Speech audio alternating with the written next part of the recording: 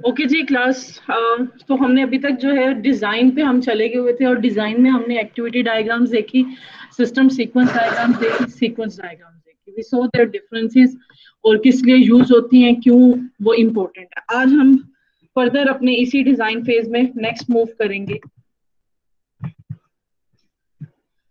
तो आज का हमारा टॉपिक होगा जी of course once again system modelling और उसके साथ हम उसमें हम देखेंगे डोमेन मॉडल्स को, वो क्या होते हैं, किस तरह से बनाए जाते हैं, और उसके बाद हमारा नेक्स्ट टॉपिक होगा जी प्रोजेक्ट मैनेजमेंट तो let's begin with the domain model तो डोमेन मॉडल जो है कि विजुअल रिप्रेजेंटेशन है of the conceptual classes in a particular domain तो फॉर एग्ज़ाम्पल आप लाइब्रेरी मैनेजमेंट सिस्टम की बात करें तो उसकी कंसेप्चुअल क्लासेस हो जाएँगी कि भाई there are employees there are students there are books ठीक है? तो इस तरह की जितनी भी कंसेप्चुअल क्लासेस जो एक सिस्टम को सोचते हुए, उसके आइडिया को डिफाइन करते हुए आपके माइंड में आती हैं, वो तमाम की तमाम क्लासेस जो होती हैं, वो आपकी डोमेन मॉडल क्लासेस उनको कहते हैं। Clear all the conceptual classes are domain model classes clear अच्छा जी। The objects or the conceptual classes of the domain are not software objects or classes. इसका मुराद ये है कि फॉर एग्जांपल एक लाइब्रेरी मैनेजमेंट सिस्टम को सोचते हुए आपके माइंड में लाइब्रेरियन भी तो आती है। आपके माइंड में उस लाइब्रेरी का जो फ़िज़िकल एरिया है, वो भी आता है। तो ये कंसेप्चुअल क्लासेस तो ये हैं, ये हमारे डोमेन मॉडल का पार्ट तो हैं, लेकिन ये शायद हमारी सॉफ्टवेयर क्लासेस नहीं है, क्योंकि हमारे सॉफ्टवेयर में आकर इनका कोई काम नहीं है, इनका कोई फ़ंक्शन नहीं है, इनका कोई फीचर नहीं है। नॉट जस्ट एनवायरमेंट बट बहुत सी ऐसी क्लासेस अभी हम आगे आगे जैसे जाएँगे, हम कुछ एग्जांपल्स देखेंगे, जिनमें आप देखोगे कि बहुत सी कंसेप्चुअल क्लासेस आप ऐसे देख रहे होते हो कि जो कि आपके एट सॉफ्टवेयर का पार्ट नहीं होती। फॉर एग्ज़ाम्पल आप ऊबर की बात करते हो ऊबर में आपके पास आप सोचते होते हो there is passenger there are roads roads traffic traffic में कितनी तरह की ट्रैफ़िक हो सकती है ना? It could be a heavy traffic ठीक है? और हैवी ट्रैफ़िक में भी जो व्हीकल्स हैं, उनकी टाइप्स हो सकती हैं। ये सब कुछ कंसेप्चुअल में आ रहा है। लेकिन एट दिन जब आप सॉफ्टवेयर में जाके इसको कोड कर रहे हो उस टाइम पे, आप सिर्फ़ गूगल मैप से ये देख रहे हो कि क्या इस रोड पे इस टाइम पे कोई ब्लॉक या कोई ट्रैफ़िक के चांसेस है या नहीं। आप उसको करेक्टराइज नहीं कर सो वंस अगेन एक पर्टिकुलर प्रोजेक्ट को जब आप लेते हो या एक पर्टिकुलर आइडिया को जब आप लेते हो, उस टाइम पे आप उसकी जितनी भी कंसेप्चुअल क्लासेस या कंसेप्चुअल उसके कॉन्सेप्ट जितने भी आप गैदर करते हो कि ये होगा ये होगा ये होगा इसमें वो तमाम की तमाम आपकी कंसेप्चुअल क्लासेस होती हैं। उसके बाद आप ये डिसाइड करते हो कि इनमें से कौन सी चीज़ों को मैंने अपनी एक्चुअल इम्प्लीमेंटेशन में लेके जाना इनमें से कौन सी चीज़ें जो हैं वो मेरे इस सॉफ्टवेयर का फीचर होंगी, कौन सी चीज़ें जो हैं वो एंटिटीज होंगी, ठीक है, ये हम किस तरह डिफाइन करते हैं, ये भी हम नेक्स्ट देखेंगे we define them from words and nouns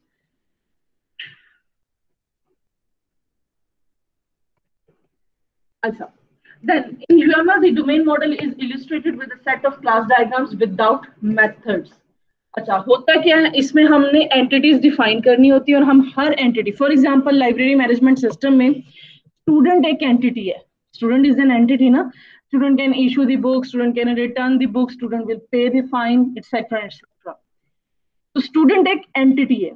इसमें हमने डोमेन मॉडल में एक स्टूडेंट को जब डिफाइन करना है तो हमने डिफाइन करना है कि स्टूडेंट के एट्रीब्यूट्स कौन कौन बाई एट्रीब्यूट्स भी मीन कि ये एक पर्टिकुलर स्टूडेंट है।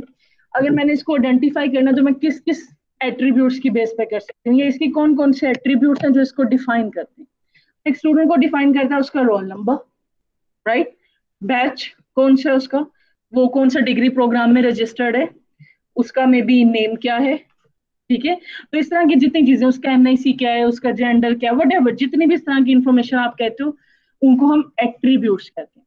तो डोमेन मॉडल तक रहते हुए हम सिर्फ़ इस चीज़ में इंटरेस्टेड होते हैं कि just identify all of the conceptual classes in a particular idea in a particular project and define their attribute और a set of attribute right now at this stage we are not interested कि एक particular student कर क्या, कह सकता है library management system में। क्या वो बुक इशू करवा सकता है या नहीं करवा? We are not interested in this we are only interested इस पर्टिकुलर सॉफ्टवेयर सिस्टम के एंटिटीज होंगी कौन कौन सी। Clear? Any questions?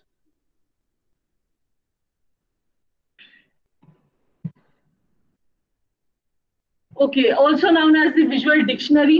अच्छा डोमेन मॉडल को डिक्शनरी का नाम दिया जाता है वो इसलिए क्योंकि ये एक ब्रेन सेशन होता है जैसे ही आपके पास एक प्रोजेक्ट आता है you brain with your team और उसके आपके माइंड में जितनी भी चीज़ें आती हैं आप लिखनी शुरू कर देते हो for example university management system की बात करते हैं। तो now start in listing entities student teacher faculty आ गया। फैकल्टी में lecturer instructor professor assistant professor associate professor सब आ गए। Then you have director head of department then you have different degree programmes then you have attendance marks mid exams final exams grades then grades में भी different categories आ गई।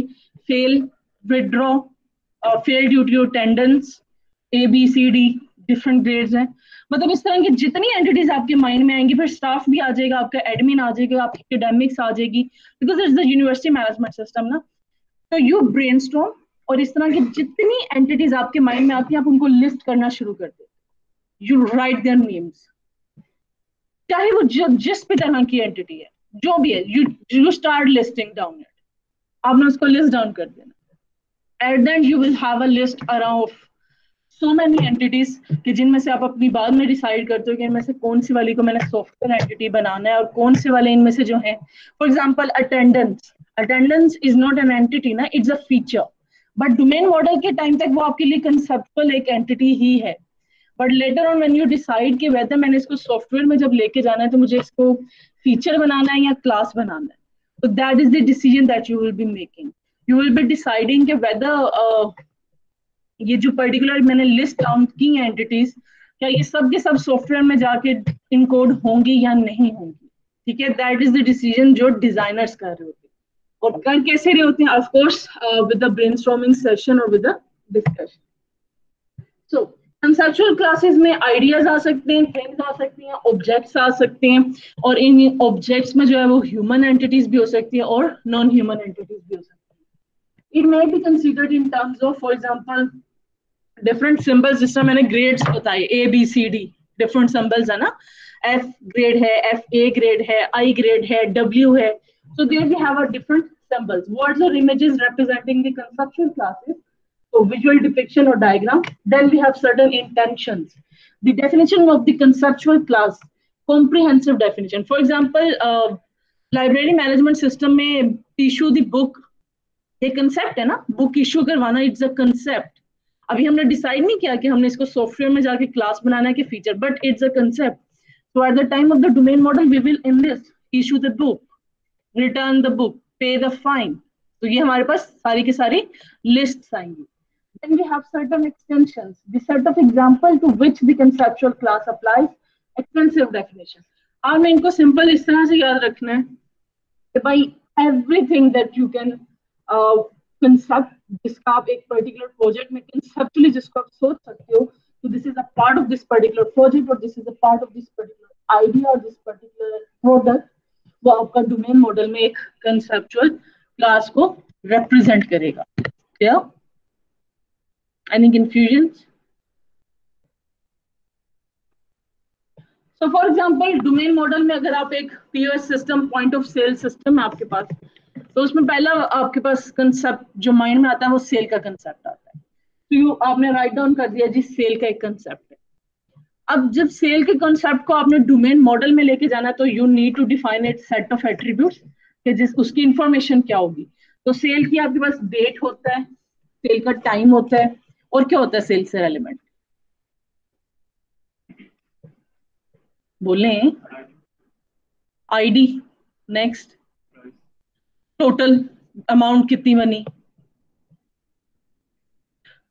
या जो आपका वो कैशियर नेम कैशियर नेम ठीक है मतलब there different things about a sale sale की फिर कोई ना कोई रिसिप्ट भी होती होगी। सेल की कोई ना कोई आइटम्स भी होती होंगी। ठीक है? तो मतलब ये वो तमाम चीज़ें जो एक सेल को डिफाइन करती हैं, ये उसकी इंफॉर्मेशन है। तो represents the event of a purchase transaction it has a date and a time यहाँ तक हमने उसको लिमिटेड रखा है बट इन एक्चुअल जैसे मैंने आपको एक्सप्लेन कर दिया कि there will be so many other attribute as well तो यहाँ तक ये आपकी कंसेप्ट की intention concept intention was there will be a sale in my system system जिसकी कोई डेट और टाइम होगा ये इंटेंशन है। इसलिए हमने सेल को एक कंसेप्चुअल क्लास बनाया अपने डोमेन मॉडल एक्सटेंशन ये है कि एक ही सेल तो नहीं ना होगी हमारे सिस्टम में। हमारे सिस्टम में मल्टीपल सेल्स होंगी ना। मल्टीपल सेल्स हो रही होंगी। तो इंटेंशन और एक्सटेंशन को मिलाते हैं ना जब हम, उस टाइम पे हमें पता चलता है कि whether we should make it a conceptual class in our last software और क्योंकि मल्टीपल सेल्स हमारे पास हो रही थी, उसकी एक्सटेंशन ये है कि there will be multiple sales going on so we said okay we will have it as a conceptual class. Any confusion still here? There are other methods as well, but ये just मैंने explain किया आपको कि this was the intention and this was the extension. Class में जाके define करते हैं. Domain में भी आप कर सकते हो बट हमने यहाँ पे की नहीं है वी हैव इट सिंप्लीफाइड ठीक है? ऑप्शन कर लो बट डोमेन मॉडल में it's recommended to define the data types but नहीं भी करते तो अच्छा। How to find conceptual classes तो हैं जी कि आपने एक पर्टिकुलर प्रोडक्ट में से या एक पर्टिकुलर प्रोजेक्ट में से किस तरह से कंसेप्चुअल क्लासेस आइडेंटिफाई करनी है? तो reuse or modify existing model. Do do this as much as possible. So, for example, आपने brainstorming session किया, आपने enlist कर दिया, या उसी तरह का कोई पहले आपने प्रोजेक्ट डिज़ाइन किए हुए थे, आप वहाँ से क्लासेस आइडेंटिफाई कर रहे हो कि ये ये वाली क्लासेस हो सकती हैं ब्रेन स्टॉर्मिंग से आइडेंटिफाई कर रहे हो, ये ये हो सकती है। You are discussing with your team whether we should make it a class or not whether we should make it a part of domain model और think hard and use a category list by category list ये वही बात है कि for example um, एक category है जी faculty member faculty member के अनसाइड बहुत सारी सब कैटेगरीज है ना। वो इंस्ट्रक्टर हो सकता है वो लेक्चरार हो सकता है वो एसोसिएट uh, प्रोफेसर हो सकता है असिस्टेंट प्रोफेसर हो सकता है वो प्रोफेसर हो सकता है। So they are different sub category identify noun phrases in requirements normally जो आपके नाउन्स होंगे ना आपकी uh, जो रिक्वायरमेंट्स आप लिखोगे वो आपकी क्लासेस को डिफाइन कर रहे होंगे। फॉर एग्ज़ाम्पल आपको वो कहा जाता है कि लाइब्रेरी में जो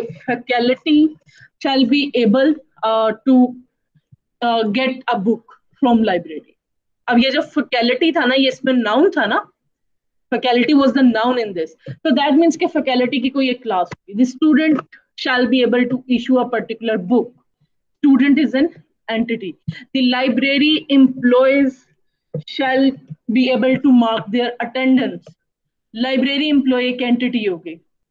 इस तरह से आप डिफरेंट नाउन्स आइडेंटिफाई करेंगे एंड यू आइडेंटिफाई कि इनमें से कितने नाउन्स जो हैं, वो सेम है, या कितने नाउन्स जो है, वो एक कैटेगरी की सब कैटेगरीज हैं, कि किस तरह से इनकी हिरारकी क्या बन रही है। ठीक है? फॉर एग्ज़ाम्पल आपको कहा जाते हैं a lecturer shall be able to get three books at a time three books वो इशू करवा सकते हैं एक lecturer and the second requirement is, a professor can get issue five books at a time अब lecturer और जो professor है, ये दोनों तो फैकल्टी के अंडर है ना?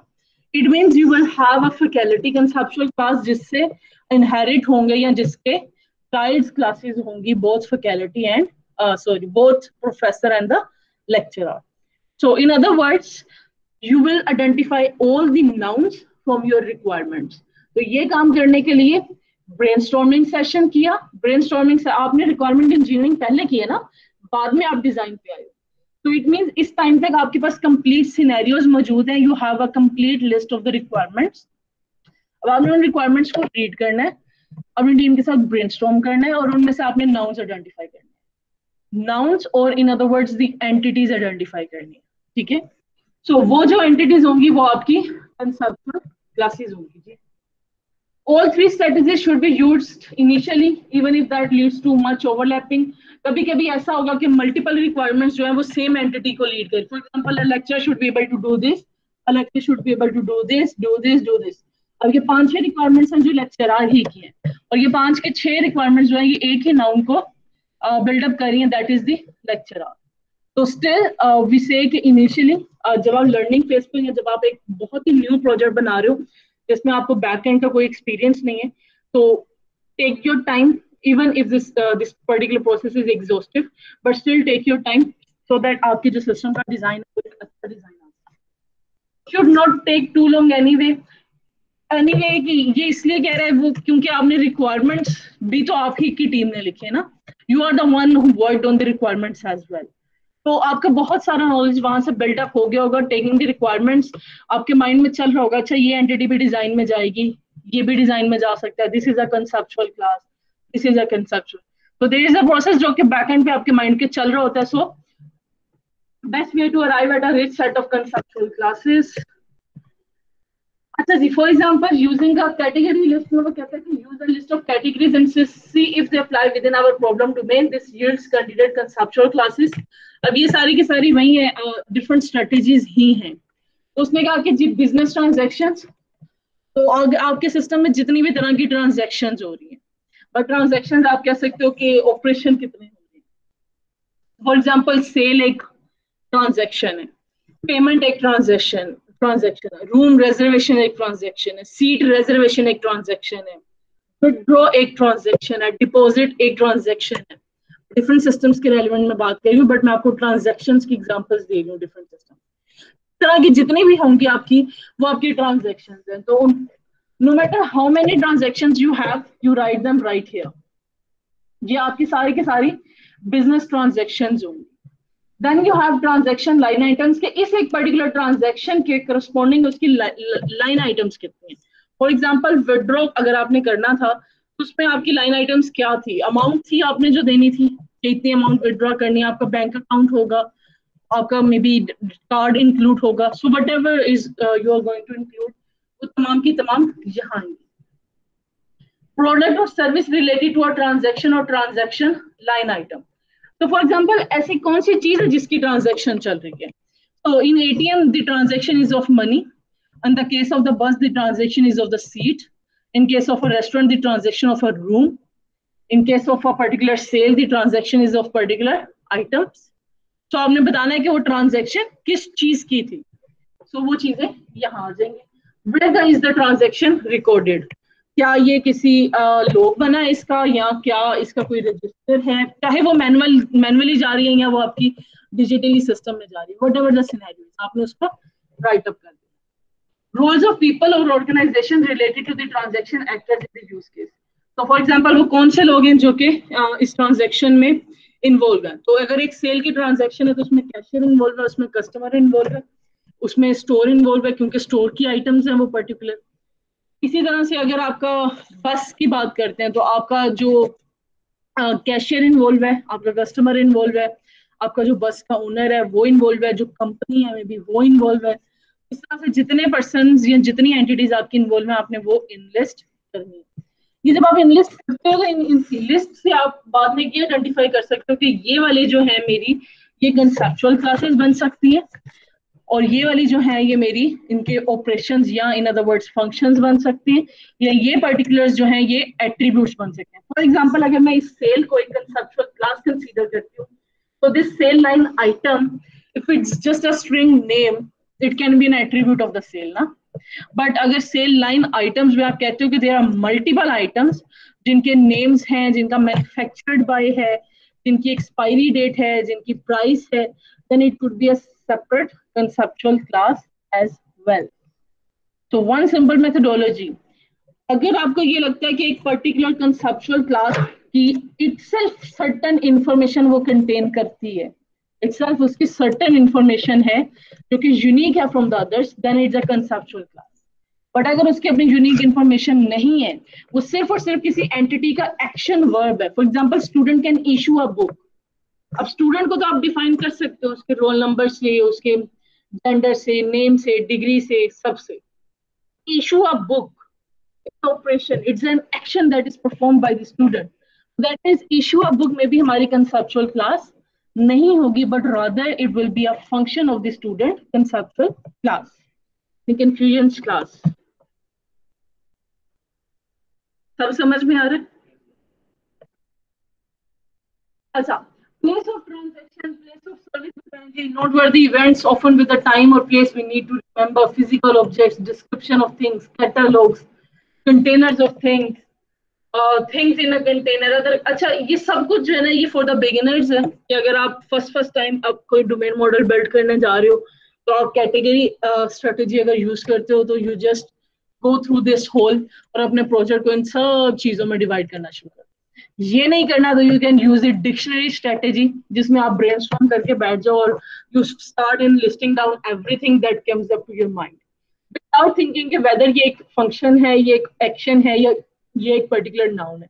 You don't think you just start in listing third is कि आप कंबाइन कर लो डिक्शनरी स्ट्रेटेजी को with requirement engineering uh, have your requirements. You start reading your requirements. उसमें से जितने nouns बनते हैं उनको इधर लिस्ट करना शुरू you keep on listing the nouns एक नाउन्स की लिस्ट बना लो और आपके पास जितने भी ये नाउन्स आएँगे at the end you can decide कि इनमें से कितनी जो है वो आपकी एक्चुअल कंसेप्चुअल क्लासेस हैं और इनमें से कितनी हैं जो कि कैटेगराइज होके एक पेरेंट और चाइल्ड का relationship Using a noun phrase identification, तो हमारे पास requirements must be read very closely especially fully dressed used cases, nouns or sequences of nouns identified. This yields candidate conceptual class. Once again, ये वही बात कर रहे हैं जो मैंने अभी आपको पहले बताई कि आपने जितने नाउन्स आइडेंटिफाई कर लिए डजंट मीन कि वो सबके सब नाउन्स आपकी कंसेप्चुअल क्लासेस बन जाएँगे साइड के अंदर से कितने नाउन्स जो हैं वो एक्चुअल में कंसेप्चुअल क्लासेस बनेंगे so that by it states candidate conceptual classes all of those nouns जो आपने आइडेंटिफाई किए वो आपकी कैंडिडेट होंगे जी, आपकी कंसेप्चुअल क्लासेस के। फॉर एग्ज़ाम्पल अब ये इसमें क्या है कि एक रजिस्टर की क्लास है और एक सेल की क्लास है। तो रजिस्टर रिकॉर्ड कर रहा है करंट सेल को। तो एक रजिस्टर में आपकी ज़ीरो से वन सेल हो सकती है। ज़ीरो से वन मतलब या तो कोई सेल नहीं होगी या सिर्फ़ एक सेल होगी। अभी अभी ये समझे, वैसे एक रजिस्टर में मल्टीपल सेल्स हो सकती है ना? There can be many sales depending upon the register size let's say it's 500 rows so हम कहते हैं कि 0 से 500 तक सेल्स हो सकते हैं so that's another thing but for now हम कह रहे हैं कि one register देखिए ना यहाँ पे one है means one register can record 0 to 1 sales clear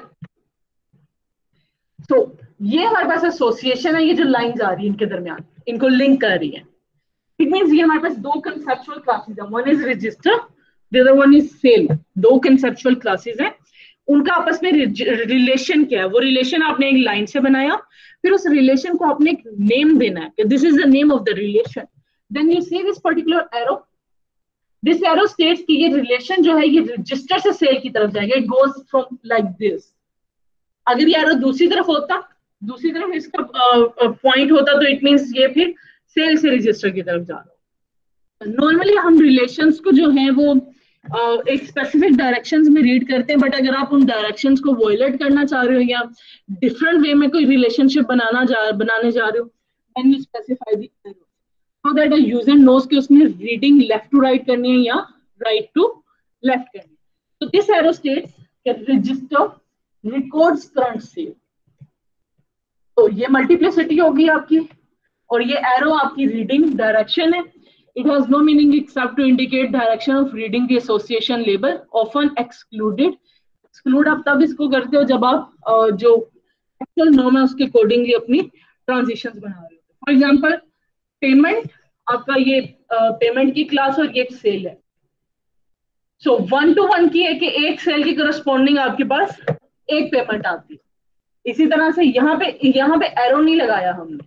यहाँ पे उसने ये एरोज बोथ साइडेड आप देखें तो इट मींस कि हमारे पास one sale to corresponding one payment है। सेल की कुछ डेटा आइटम्स एट्रीब्यूट्स ये हैं डेट स्टार्ट टाइम और पेमेंट की अमाउंट है हमारे पास कुछ ये। अच्छा इन दोनों में डिफरेंस ये है कि इसमें आके उसने कुछ एक्शंस को डिफाइन कर दिया। Like payment is get balance for example student can issue a book तो अगर स्टूडेंट में आप इशू बना देते हो तो ये आप उसका एक्शंस डिफाइन कर दिए ऑपरेशंस डिफाइन कर तो इस वाले में आके उसने ऑपरेशंस डिफाइन कर दिए इस वाले में उसने ऑपरेशन नहीं डिफाइन किए सिर्फ़ इंफॉर्मेशन दी सिर्फ़ एट्रीब्यूट्स दिए तो जब आप सिर्फ़ और सिर्फ़ एट्रीब्यूट्स की हद तक रहते हो then it's domain model then you are saying it's a domain model by domain model we mean के this is model that contains the conceptual classes of my uh, whatever the idea of whatever the project is conceptual classes है actual नहीं है conceptual है। But when you go to the design, then it's software classes with the operations. तो आपने identify कैसे करना है अगर आपको फॉर एग्जांपल सिस्टम का नहीं पता आपको सिर्फ दो क्लासेस देके कहा जाता है आइडेंटिफाई करो डिजाइन वाली कौन सी है डोमेन वाली कौन सी है तो वी सिंपली से कि this particular class contains operations so it's a design class but this particular class does not contain operations it only contains the attributes the attributes are amount date time so it's a domain model it's a conceptual class yeah there's a clear cut difference between a conceptual class and a design class a conceptual class में आप देखें बहुत सारी information missing है क्योंकि software related information but यहाँ ये amount money type की है डेट डेट टाइप की है स्टार्ट टाइम टाइम टाइप का है ये सारी की सारी सॉफ्टवेयर इंप्लीमेंटेशन की डिटेल्स है आपके अच्छा ये एक उसने पीओएस का डोमेन मॉडल का वो उसने सारा एक सिनेरियो आपको बता दिया। It's a long cut scenario कि कस्टमर पीओएस सिस्टम पे आया चेकआउट विद गुड्स और सर्विसेज़ कैशियर ने न्यू सेल ये वही पीओएस का यूज़ केस है जो आपने पिछली सीक्वेंस डायग्राम में भी हमने, इसकी पूरी सीक्वेंस डायग्राम डिज़ाइन की थी, अगर आपको याद हो। वॉज़ योर मिड एग्ज़ाम का सिलेबस में था। तो उसने न्यू सेल स्टार्ट की, उसने आइटम का आइडेंटिफायर ऐड किया, फिर उसने टैक्सेस ऐड किए पेमेंट ली पेमेंट में से डिडक्शंस करके एट देन रिसिप्ट जनरेट की so it's a whole use case you इसके करस्पॉन्डिंग उसने कंसेप्चुअल क्लासेस निकाल दिया देखें कस्टमर इज़ अ नाउन उसने गेट कर लिया cashier is a noun get कर लिया sale line item is a noun cashier tells customer cashier और कस्टमर अगेन नाउन है बट बिकॉज़ हमारे पास ऑलरेडी कैशियर और कस्टमर गेट हो चुके हैं इसने यहाँ पे इग्नोर किया। Total ask for payment transaction events payment transaction events are again nouns then sale inventory are nouns तो इसने ये सबके सब नाउन्स जो थे ये इसमें से इसने गेट कर लिए और ये इसने कहा कि these all are my conceptual classes लेकिन ये कैंडिडेट कंसेप्चुअल क्लासेस है not the final conceptual classes candidate conceptual classes इनमें से आप आइडेंटिफाई करोगे कि कौन सी uh, होंगी। अच्छा there is very much possibility कि अगर मैं यही रिक्वायरमेंट्स आपको देती तो आप कंसेप्चुअल क्लासेस जो लेके आते मे बी उनके नेम्स कुछ डिफरेंट होते, या मे बी उनकी काउंट जो था वो इससे कुछ डिफरेंट होता, ज़्यादा भी हो सकता था, कम भी हो सकता। तो that's why we say there is no correct list of conceptual classes आप ये नहीं कह सकते कि इनकी बनाई हुई लिस्ट करेक्ट और इनकी बनाई हुई रॉन्ग है। एज लॉन्ग एज दोनों लिस्ट नाउन्स पे बनी है। एज लॉन्ग एज दोनों लिस्ट नाउंस पे बनी है। फॉर एग्ज़ाम्पल यहाँ पे है स्टार्ट अ न्यू सेल अब अगर ये अपने कंसेप्चुअल uh, क्लासेस में लिख लाते हैं start a new sale this is wrong it's not a noun it's an action ये कोई सा ऑपरेशन है स्टार्ट अ न्यू सेल का। फिर ये रॉन्ग है। But as long as both list contains nouns and the nouns are from this particular requirement तो तब तक हम ये नहीं कह सकते कि whether his list is right or his हम दोनों को consider करेंगे। So anyways आपने ये कुछ कंसेप्चुअल क्लासेस आइडेंटिफाई कर ली। Once you have identified this conceptual classes आप इनके रिलेशंस आइडेंटिफाई करते हो। सो रिलेशंस आइडेंटिफाई आपने कुछ इस तरह से कर लिए। यू सेड कि I have a letter one letter contains many sales अच्छा जो हमारा बाय uh, डिफ़ॉल्ट जो वे है रीड करने का एसोसिएशन जब आपने एरो नहीं लगाया हुआ तो it's top to bottom left to right हमेशा एक एसोसिएशन को आप लेफ़्ट से राइट टॉप से बॉटम रीड करते हो अनटिल अनलेस वहाँ पे एरो ना गिवन है। अगर एरो गिवन है तो फिर जिस डायरेक्शन में एरो फिर आप उस डायरेक्शन में रीड करो। डिफ़ॉल्ट में क्या है? Top to bottom left to right so left to right read करेंगे तो sale captured on register register works on cashier ये एरो आई बट ये गलत लगा हुआ है। मतलब इमेज में आई नहीं it's cashier works on register ये अपवर्ड एरो होगा यहाँ पे ठीक है? Sale is for customer sale paid by cash payment and so on मतलब आप डिफरेंट यहाँ पे रिलेशनशिप से आप आइडेंटिफाई कर सकते हो। Product catalog contains product description one catalog contains one to many product description ठीक है ना? एक कैटलॉग में एक प्रोडक्ट डिस्क्रिप्शन भी हो सकती है और मल्टीपल प्रोडक्ट डिस्क्रिप्शन भी हो सकती है depending upon how many products we have in our store तो एक स्टोर जो है, वो स्टॉक कर रहा है मैनी आइटम्स अच्छा स्टार का मतलब है ज़ीरो टू मैनी मतलब ज़ीरो आइटम्स भी हो सकते हैं. There is very much possibility कि कोई आइटम ना हो. एक स्टोर एम्प्टी हो. एम्प्टी स्टोर भी तो हो सकता है ना? और there is very much possibility कि उसमें बहुत सारी आइटम्स अगर आपने उनकी लिमिट डिफाइन करनी है store can only contain 500 items so you will write zero dot dot 500 ठीक है? इट विल मीन्स कि ज़ीरो से 500 एनी कंफ्यूजन इन दस आपने सिर्फ़ अपनी कंसेप्चुअल क्लासेस आइडेंटिफाई की and you start defining the relations once you are done with the relations आपने क्या करना है? आपने इनको इनको इनको डिफाइन करना शुरू करना एक लेजर की कौन कौन सी चीज़ें हो सकती हैं उसमें? उसको जो डिफाइन करेंगे, एक लेजर को। इसी तरह एक स्टोर की जिसमें नेम और एड्रेस लिखा है सेल का डेट टाइम टोटल लिखा है कस्टमर का मे बी नेम हो सकता है। या मे बी कस्टमर आईडी हो सकती है, उसका एनआईसी हो सकता है। एनीथिंग एट ऑल ना? कस्टमर की भी कोई इन्फॉर्मेशन हो सकती है जो आप अपने सिस्टम में स्टोर कर रहे हो।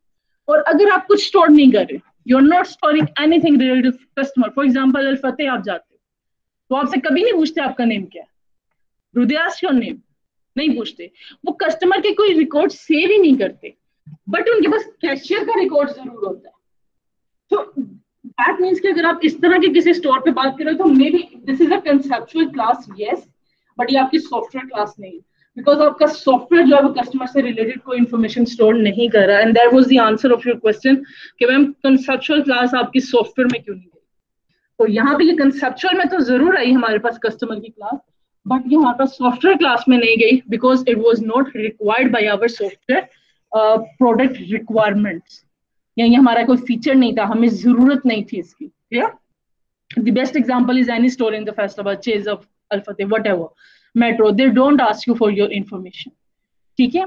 बट अगर आप किसी एक ऐसे स्टोर की बात कर रहे हो कि जो कि इंफॉर्मेशन सेव कर रहा है इंफॉर्मेशन स्टोर कर रहा है, वो अपने कस्टमर्स को उनके कार्ड्स बना के दे रहे हैं, then yes, this conceptual class will be your software class.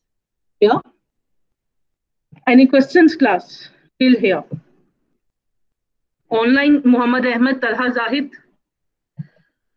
जाग रहे हैं आप दोनों? तो uh,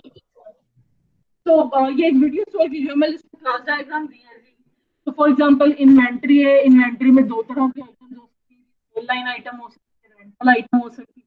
ये वो हिरारकी है जो मैं आपको बता रही थी फैकल्टी की केस में। फैकल्टी जो है वो इंस्ट्रक्टर लेक्चरर प्रोफेसर लेवल पे जाके एसोसिएट असिस्टेंट सारी चीज़ें आती तो इसमें कह रहा है कि एक इन्वेंट्री एक तो पेरेंट क्लास है।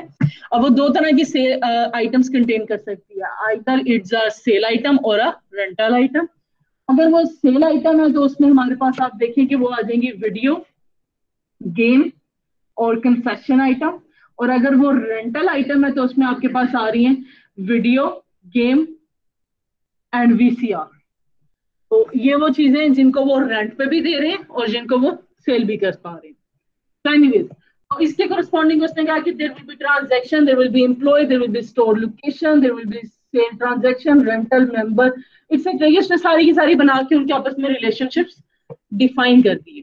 तो आपने जब इन कंसेप्चुअल क्लासेस में से डिसाइड करें ना, अपने डोमेन डोमेन मॉडल यहाँ तक आपका राइट है।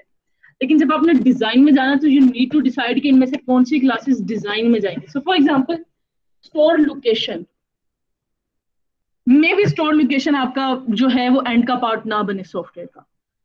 मे बी आप सिर्फ़ एक ही ब्रांच को हैंडल कर रहे हो, उसमें स्टोर लोकेशन की ज़रूरत ही नहीं है आपको। You don't need store location as a particular तो आप इसको ओमिट कर दो। मे बी आप कस्टमर का डेटा सेव नहीं करने जा रहे तो आप कस्टमर को ओमिट कर दो। तो यू विल डिसाइड कि इनमें से कौन से ऐसे क्लासेस हैं जिनका डेटा या जिनकी जो इंफॉर्मेशन है या जिनके एक्शन जो हैं, वो मुझे सॉफ्टवेयर सिस्टम में रिक्वायर्ड है जो से रिक्वायर्ड है, वो आपकी डिज़ाइन का पार्ट बन जाएँगी। जो सी नहीं रिक्वायर्ड वो यहीं पे ओमिट हो जाएँगी। So one thing domain model is not and will never be equivalent to your design model. दोनों में डिफरेंस होता है। दोनों की ओवरलैपिंग इसी हद तक आप कह सकते हो कि एक क्लास डोमेन में थी तो वो आपकी डिज़ाइन में भी चली। बट यू कैन नॉट से जितनी क्लासेस डोमेन में, वो सारी की सारी डिज़ाइन में जाएँगी। There will be a few classes जो कि ओमिट हो जाएँगी या अ फ्यू क्लासेस जो कि एक्स्ट्रा ऐड हो जाए मे बी आपके डिज़ाइन में जाके उसको इंश्योर so anyways, यहाँ तक हमारा डोमेन मॉडल से हमने अपनी देखा कि किस तरह से आ, कोई भी सॉफ्टवेयर सिस्टम प्रोडक्ट आता है। So you identify all the conceptual classes और you extract all the nouns from the requirement engineering once you done with that आप उनके रिलेशनशिप्स आइडेंटिफाई करते हो, उनकी इंफॉर्मेशन आइडेंटिफाई करते हो जहाँ तक आपका डोमेन मॉडल रेडी हो जाता है जब आपने उसको डिज़ाइन में कन्वर्ट करना है यू विल सी कि इनमें से कौन सी जो है वो डिज़ाइन में जाएँगी। जो क्लासेस डिज़ाइन मॉडल का पार्ट बनेंगी, आप उनके एक्शन आइडेंटिफाई करोगे। For example library management system एक स्टूडेंट जो है, ये सॉफ्टवेयर सिस्टम में जाएगा ना, ये डिज़ाइन मॉडल में जाएगा। एक स्टूडेंट एक लाइब्रेरी में रहते हुए क्या क्या कर सकता है? स्टूडेंट बुक इशू कर सकता है रिटर्न कर सकता है फ़ी दे सकता है whatever the cases faculty क्या क्या कर सकती है? एक लाइब्रेरी एम्प्लॉय क्या क्या कर सकता है? सो लाइब्रेरी एम्प्लॉय जो है, वो एक स्टूडेंट को एक पर्टिकुलर बुक इशू करता है, वो उसका डेटा लेता है ना? तो इस तरह की सारी डिटेल्स जो हैं, जो उनके एक्शंस हैं या जो उनके ऑपरेशन हैं, जब आप उनको इनलिस्ट करोगे तो आपके पास design model also noun as class diagram बनता है। क्या कंफ्यूजन नेक्स्ट है जी, हमारे पास प्रोजेक्ट मैनेजमेंट प्रोजेक्ट मैनेजमेंट में हमारे पास फोर पीज आ जाते हैं। फोर पीज में हमारे पास आते हैं जी people product process and project ये वही फोर पीज हैं जो एक दफ़ा पहले भी हमने आपको, मैंने जब हम एक डायल करने जा रहे थे पीपल ओवर प्रोसेस का हमने एक कॉन्सेप्ट देखा था ना Agile focuses more on the people as compared to the process. Agile gives more importance to the people and as compared to the process. So ये उसी में से four P's हैं बहरहाल So the most important element of a successful project are people. If you have a good team, you can make a successful project without failures. But if there's something wrong with your team, no matter how much you're investing, your project is doomed already. Okay? Reason saying कि अगर आपकी team अच्छी है, They are uh, their communication is good, they are motivating motivated to work, तो आप कोई सा भी सॉफ्टवेयर सिस्टम उनसे बिल्ड करवा सकते हो। एज लॉन्ग एज आपकी टीम विलिंग है। Willingness is very important in your particular team अगर आपकी टीम विलिंग है काम करने के लिए तो वो कर सकती है। बट अगर आपकी टीम ही विलिंग नहीं है if you're lacking in the people department then आपके प्रोजेक्ट्स जो हैं वो बहुत ज़्यादा फेल होते हैं या डूम टू फेलियर होते हैं या उनमें लॉस होते हैं। Because of this particular product product of course the software that we are going to be designed अच्छा ये प्रोडक्ट सॉफ्टवेयर भी हो सकता है हार्डवेयर भी हो सकता है depends but for now because we are studying software engineering हम अपने प्रोडक्ट को सॉफ्टवेयर कह रहे हैं, ठीक है?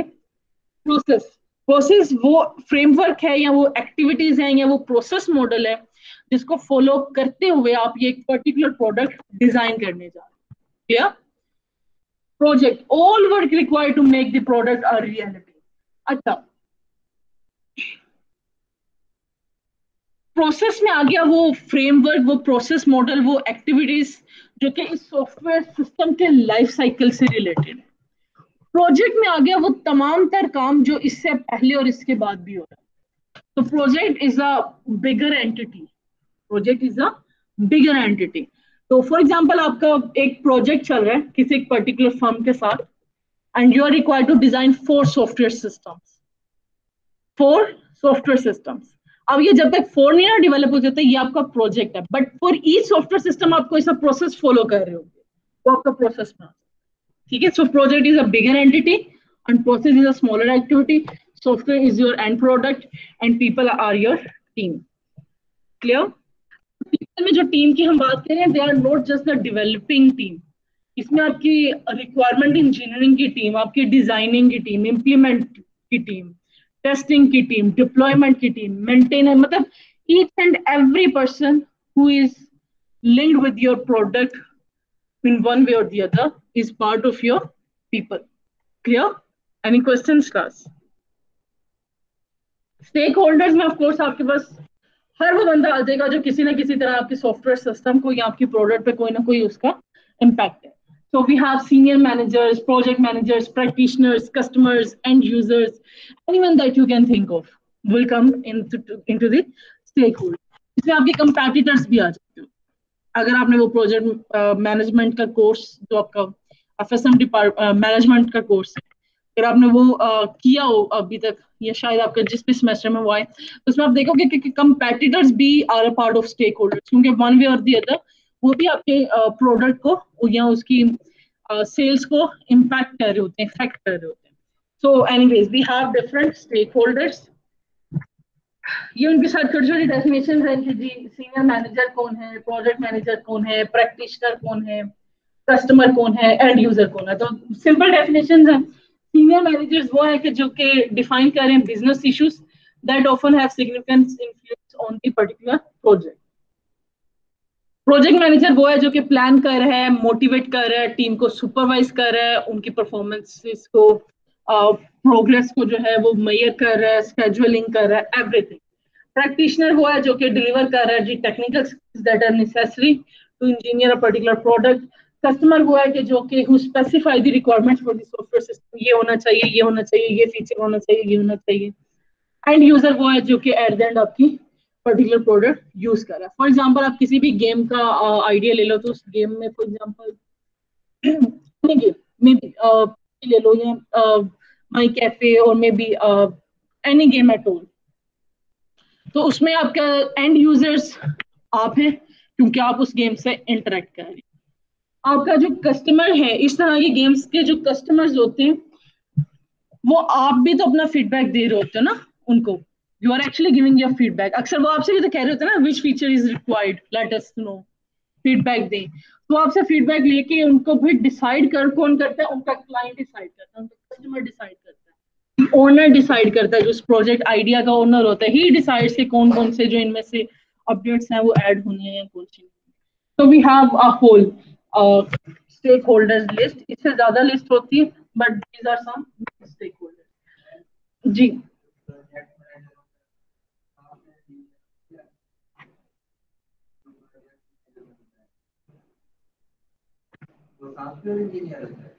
वो प्रोजेक्ट मैनेजर होता है। उसने कंप्लीट थ्रू आउट प्रोजेक्ट को देखना होता है, उसने टीम को इंश्योर करना होता है कि टीम की कम्युनिकेशन टीम की प्रोग्रेस टीम स्केड्यूल फॉलो कर रही है कि नहीं कर रही। उसने ये सब कुछ, उसने माइलस्टोन्स डिफाइन करने होते हैं, उसने ड्यूटीज़ असाइन करनी होती है सबकी सब, ठीक है? नॉर्मली की प्रोजेक्ट मैनेजर के बाद आपके टीम लीड्स होते हैं। टीम लीड जो है, उसका मोटिवेशन एमओआई मॉडल को हम कहते हैं मोटिवेशन ऑर्गेनाइजेशन आइडियाज़ और इनोवेशन तो MOI model is motivation organisation ideas या इनोवेशन हम इसमें कहते हैं कि जी motivation the ability to encourage by push और pull technical people to produce to their best ability अब होता है क्या है कि एक प्रोजेक्ट मैनेजर है, आपका on the top hierarchy you have a senior manager, then you have a project manager. After the project manager, you have certain team leads. अब टीम लीड का काम यह है कि वो इंश्योर कर रहा है कि जो उसकी पाँच से छह बंदों की टीम है, वो बेस्ट प्रोडक्टिविटी थी। उनका जो भी माइलस्टोन था वो उसको अचीव करें। अब उसमें उसने किस तरह से करना है? अब इसको लीडर का नाम दिया गया। बॉस नहीं कहा गया। लीडर कहा गया। A leader is someone who shows you the path who shows you the path कि इसको इस तरह से फॉलो करना सो टीम लीडर का क्या काम है? ऑफ़ कोर्स उसकी जो अपनी स्किल्स होती हैं वो तम, अपनी टीम से ज़्यादा होती हैं। Leader no have all the skills जो उसकी टीम के पास है। तो काम उसने अपनी टीम से करवाना So a leader will be motivating his or her team. He will be organizing the team. He will be deciding कि you should do this task. ये task आपका है, ये task आपका है. He will be ensuring कि at the end of the day, they, his or her team have achieved the particular milestone. Idea and innovation, the ability to encourage people to create and feel creative environments. They must work within bounds, etc. तो मतलब वो बन, आ, उनको अपनी team को motivate करे कि if they have something to say they have the encouragement और they have the confidence to say it out loud clear ये बिल्कुल इसी तरह के जिस तरह से हम कहते हैं कि for example if you are working in a group project तीन बच्चों का ग्रुप है तो normally you are seeing this phrase कि टीचर्स मोस्टली यूज़ कर रहे होते हैं कि तीन का ग्रुप है काम तो एक नहीं किया ना।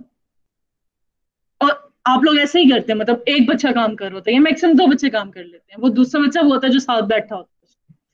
जैसे कि दो ने काम किया। उसमें हम कहते हैं normally teachers some teachers do जब आप नेक्स्ट सेमेस्टर में जाओगे मे बी सिक्स सेवेंथ में तो they they ask you to define a team lead they ask you to nominate a particular team lead तो आप अपने ग्रुप में से एक पर्सन को नॉमिनेट कर देते हो कि he is a team lead तो एज एन टीचर उससे क्वेश्चन करता है हाँ भाई, सबने क्या क्या? किया now he has to ensure कि टीम में ऐसा ना हो कि डेवलप सारा का सारा काम एक बंदे ने किया। ही हैज़ टू इंश्योर कि टीम में सबने बराबर का काम किया। ठीक है? ऑफकोर्स इसमें भी आप लोग जुगाड़ लगा लेते हो but the idea of the team lead is this to ensure कि आपका जो एक पर्टिकुलर ये जो एक टीम है, पाँच से छह बंदों की नॉर्मली टीम्स को इतना ह्यूज नहीं किया जाता। नॉर्मली पाँच से दस तक फिक्स रहती है। तो ये जो पाँच से दस की टीम है, ये काम कर रही है। टू इंश्योर दिस क्योंकि एक प्रोजेक्ट मैनेजर के अंडर तो फोर्टी, फिफ्टी, हंड्रेड तक लोग आ रहे होते हैं। तो कैन नॉट इंश्योर कि ये हंड्रेड के हंड्रेड सही काम कर रहे हैं but a team lead can ensure कि ये पाँच सौ दस बंदे जो उसके अंदर है, ये काम कर रहे हैं। जी एनी क्वेश्चन बच्चे, वो टीम को ऑर्गेनाइज कर रहा है कि उनका जितने भी जो भी उनका प्रोजेक्ट चल रहा है उसके कि ये इनका क्या रिस्पॉन्सिबिलिटी है, इनकी क्या रिस्पॉन्सिबिलिटी है, क्या at the end of the day ये टास्क कंप्लीट हो रहा है, नहीं हो रहा डिफरेंट चीज़ें। और जो प्रोसेसेस हैं, अगर उनमें कोई मसला है तो उनको किस तरह से मोल्ड करना है, किस तरह चेंज करना है एनीथिंग एट ऑल ये सब कुछ टीम लीड कर रहा है हमारे पास सॉफ्टवेयर टीम्स है following factors must be consider when selecting a software project team structure तो ये कुछ फैक्टर्स हैं जी difficulty of problems to be solved कि आपका जो प्रॉब्लम है एट द हैंड या जो सॉफ्टवेयर सिस्टम आप बिल्ड करने जा रहे हो, उसकी complexity it's it a complex system or does it require some special type of skills अगर ऐसा है तो फिर आपको वही स्पेशल टाइप ऑफ़ स्किल्स के पर्सन ढूँढने आपको ये नहीं देखना कि हाँ ये बंदा बहुत काम करने वाला तो let's hire because he will be useless for you if he doesn't have the particular skill he will be useless तो आपको वो देखना है कि अगर आपके पास जो टास्क है, जो प्रॉब्लम है इट्स कॉम्प्लेक्स और एक ऐसी स्किल है कि जिसकी learnability itself on a few months or years पे बेस्ड है तो फिर आप एक ऐसे पर्सन को हायर नहीं कर सकते जो बिल्कुल new to that particular technology वो आपको वो पर्सन हायर करना है जो एक्चुअली वो स्किल्स रखता हो। Then the size the resultant program in line of code or function points uh, function points का कॉन्सेप्ट आप नेक्स्ट जब सॉफ्टवेयर इंजीनियरिंग का पर्टिकुलर कोर्स जो आर एस सी का आता है वो करोगे तो उसमें आपको पता चल जाएगा। So normally we define certain functional points जिनकी बेस पर डिसाइड कर रहे थे कि हमारे इस पर्टिकुलर सॉफ्टवेयर सिस्टम की कॉस्ट कितनी होगी। How much it will cost इसकी कितनी कॉस्ट होगी इसकी क्या इंपॉर्टेंस वगैरह इट्सेट्रा अच्छा इसमें बट इस पॉइंट में ये ये कहना चाह रहा है कि you you actually extract the functional points और द लाइन ऑफ़ कोड्स अगर मैं इसको सिंप्लीफाई आपके लिए करूँ तो यू इनलिस्ट द फीचर्स आप फीचर्स इनलिस्ट करते हो और फिर आप देखते हो कि ये टेन uh, फीचर्स हैं तो how many team members would I need to complete this ten features या अगर हंड्रेड फीचर्स हैं तो ऑफकोर्स आपको एक टीम साइज़ ह्यूज चाहिए होगा। ठीक है so you actually trying to uh, calculate the number of the people or the number of team members with their skill set. Time that the team will stay together, normally कहा जाता है कि एक employ आपकी एक particular organisation में कितना time एक एम्प्लॉय टिक सकता है? एक साल टिकेगा? छह महीने कॉन्ट्रैक्ट के टिकेगा? सिक्स मंथ्स जो उसका कॉन्ट्रैक्ट है आपके पास या एक साल का अगर कॉन्ट्रैक्ट है तो you can only be sure कि ये पर्सन एक साल तक हमारे पास है। उस एक साल के बाद यू आर नॉट श्योर कि वेदर ये पर्सन आपके पास स्टे करेगा या नहीं करेगा। तो you have to actually identify कि अगर एक साल बाद ये पर्टिकुलर पर्सन जो है ये कंपनी लीव कर जाता है देन uh, हम किस तरह से काम करें? तो अगर आपको कुछ प्रोजेक्ट्स ऐसे होते हैं कुछ कंपनीज़ प्रोजेक्ट में जब किसी को हायर करती हैं तो दे मेक अ कॉन्ट्रैक्ट जब तक ये प्रोजेक्ट चल रहा है तब वो पर्सन कंपनी नहीं छोड़ सकता। तो डिफरेंट तो आपने आइडेंटिफाई करना है कि आपने क्या करना है। Whether you can bear the loss of a team member during the project or not the degree to which the problem can be modularized. मतलब कहाँ तक जो है वो आप प्रॉब्लम्स को एक पर्टिकुलर सोल्यूशन तक लेके जा सकते हो। या कहाँ तक जो है वो अभी आपके प्रॉब्लम्स जो है वो आपको लगता है कि इस हद तक ये सोल्व हो जाएँगी। कहाँ तक नहीं होंगी तो जो नहीं होंगी, फिर उसके अकॉर्डिंगली आप उस स्किल सेट के person required quality and reliability of the system of course अगर आपको सिस्टम एक क्वालिटी सिस्टम चाहिए और एक रिलायबल सिस्टम चाहिए इफ़ेक्टिव चाहिए एफिशिएंसी चाहिए तो you will be hiring a team कि जो, जिसके पास उस तरह का स्किल सेट हो, जिसके पास उस तरह का एक्सपीरियंस हो, जिसने उस तरह के सिस्टम्स पे काम किया हो, जिसको पता हो कि एक सिस्टम को रिलायबल बनाना है तो मुझे किस तरह से बनाना the of the delivery date क्या डिलीवरी डेट है आपके सिस्टम की वो डिले हो सकती है या नहीं हो सकती? और is it a strict date क्या ये स्ट्रिक्ट स्केजुअल है जिसको आपको इसी तरह से फॉलो करना है या इसमें कोई सी अप एंड डाउन हो सकता है डिग्री ऑफ़ सोशबिलिटी कम्युनिकेशन कितनी रिक्वायर्ड है? आपको कितनी स्ट्रॉन्ग टीम चाहिए? आपको कितनी इस तरह की टीम चाहिए कि वो बिल्कुल आपस में मर्ज हुई हो, उनका आपस में बिल्कुल कम्युनिकेशन हो? हमने नॉर्मली शायद अक्सर देखा हो कि अक्सर जो इस तरह के प्रोजेक्ट्स होते हैं, उनमें ग्रुप्स को हायर किया जाता है। सिंगल पर्सन को नहीं हायर किया जाता, आपके पूरे पूरे ग्रुप्स को हायर किया जाता है। इसमें आपके छोटे छोटे नॉर्मली फास्ट में इस टाइम पे बहुत से स्टूडेंट्स हैं, पाँच छह के बच्चे हैं, जो कि मिल जाते हैं और एक टीम बना लेते हैं। And whenever someone hires them, they hire their team because they know कि ये पाँच छह बच्चे जो है, इनकी आपस में ऑलरेडी कम्युनिकेशन बहुत स्ट्रॉन्ग है so don't need to particular ensure कि आपस में बनती है कि नहीं बनती। They have already developed their relation with each other any confusions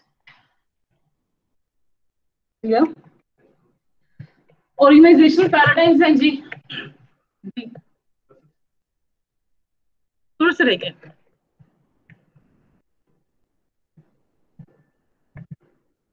second last slide. It's the second last slide. अच्छा ऑर्गेनाइजेशनल पैराडाइम है जी बाय कॉन्स्टेंटिन कॉन 93 से आए हैं उसमें क्लोज पैराडाइम है। Structures a team along a traditional hierarchy of authority ये मतलब अथॉरिटेटिव uh, टीम्स बना दी। अब इसमें आप इंडिपेंडेंट नहीं हो। यू हैव अ बॉस और आपके बॉस का भी एक बॉस है and then it keeps on going until you reach the particular CEO right so ये क्लोज पैराडाइम है। इसमें आप की कोई फ्री विल नहीं है you have to you have been assigned a particular task you have to do that particular task and you have to report back to your particular reporting officer your particular then we have random paradigm structures a team loosely and depends on individual initiative of the team members so for example ye uh, isme ek team ban gayi now he say i want to work on this particular uh, model of the product he says i want to work on this particular model मतलब team बन तो गई but loosely structure team उसमें हमने बिल्कुल define नहीं किया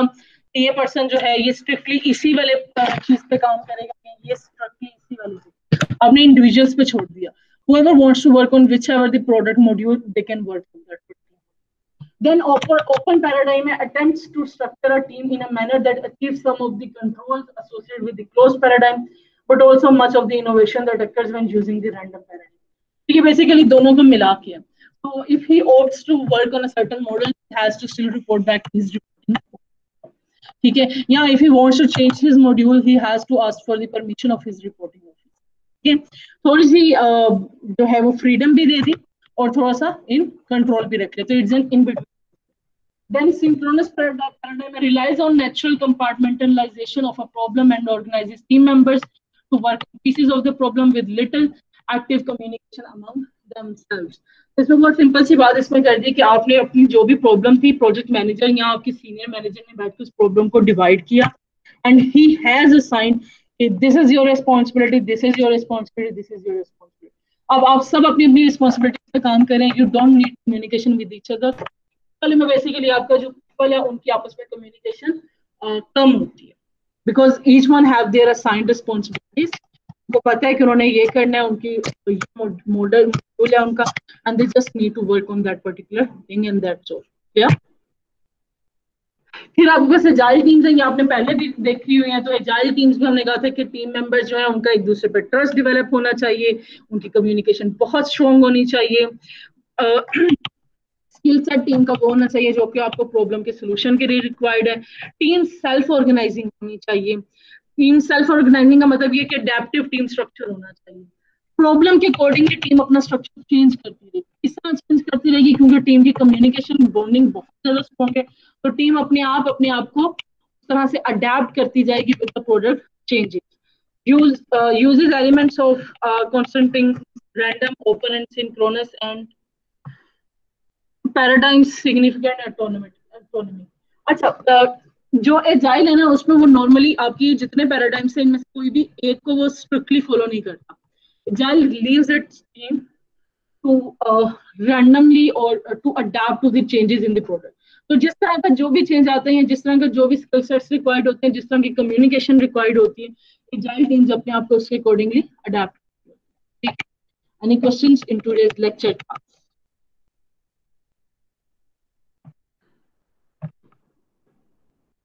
Any questions in today's lecture?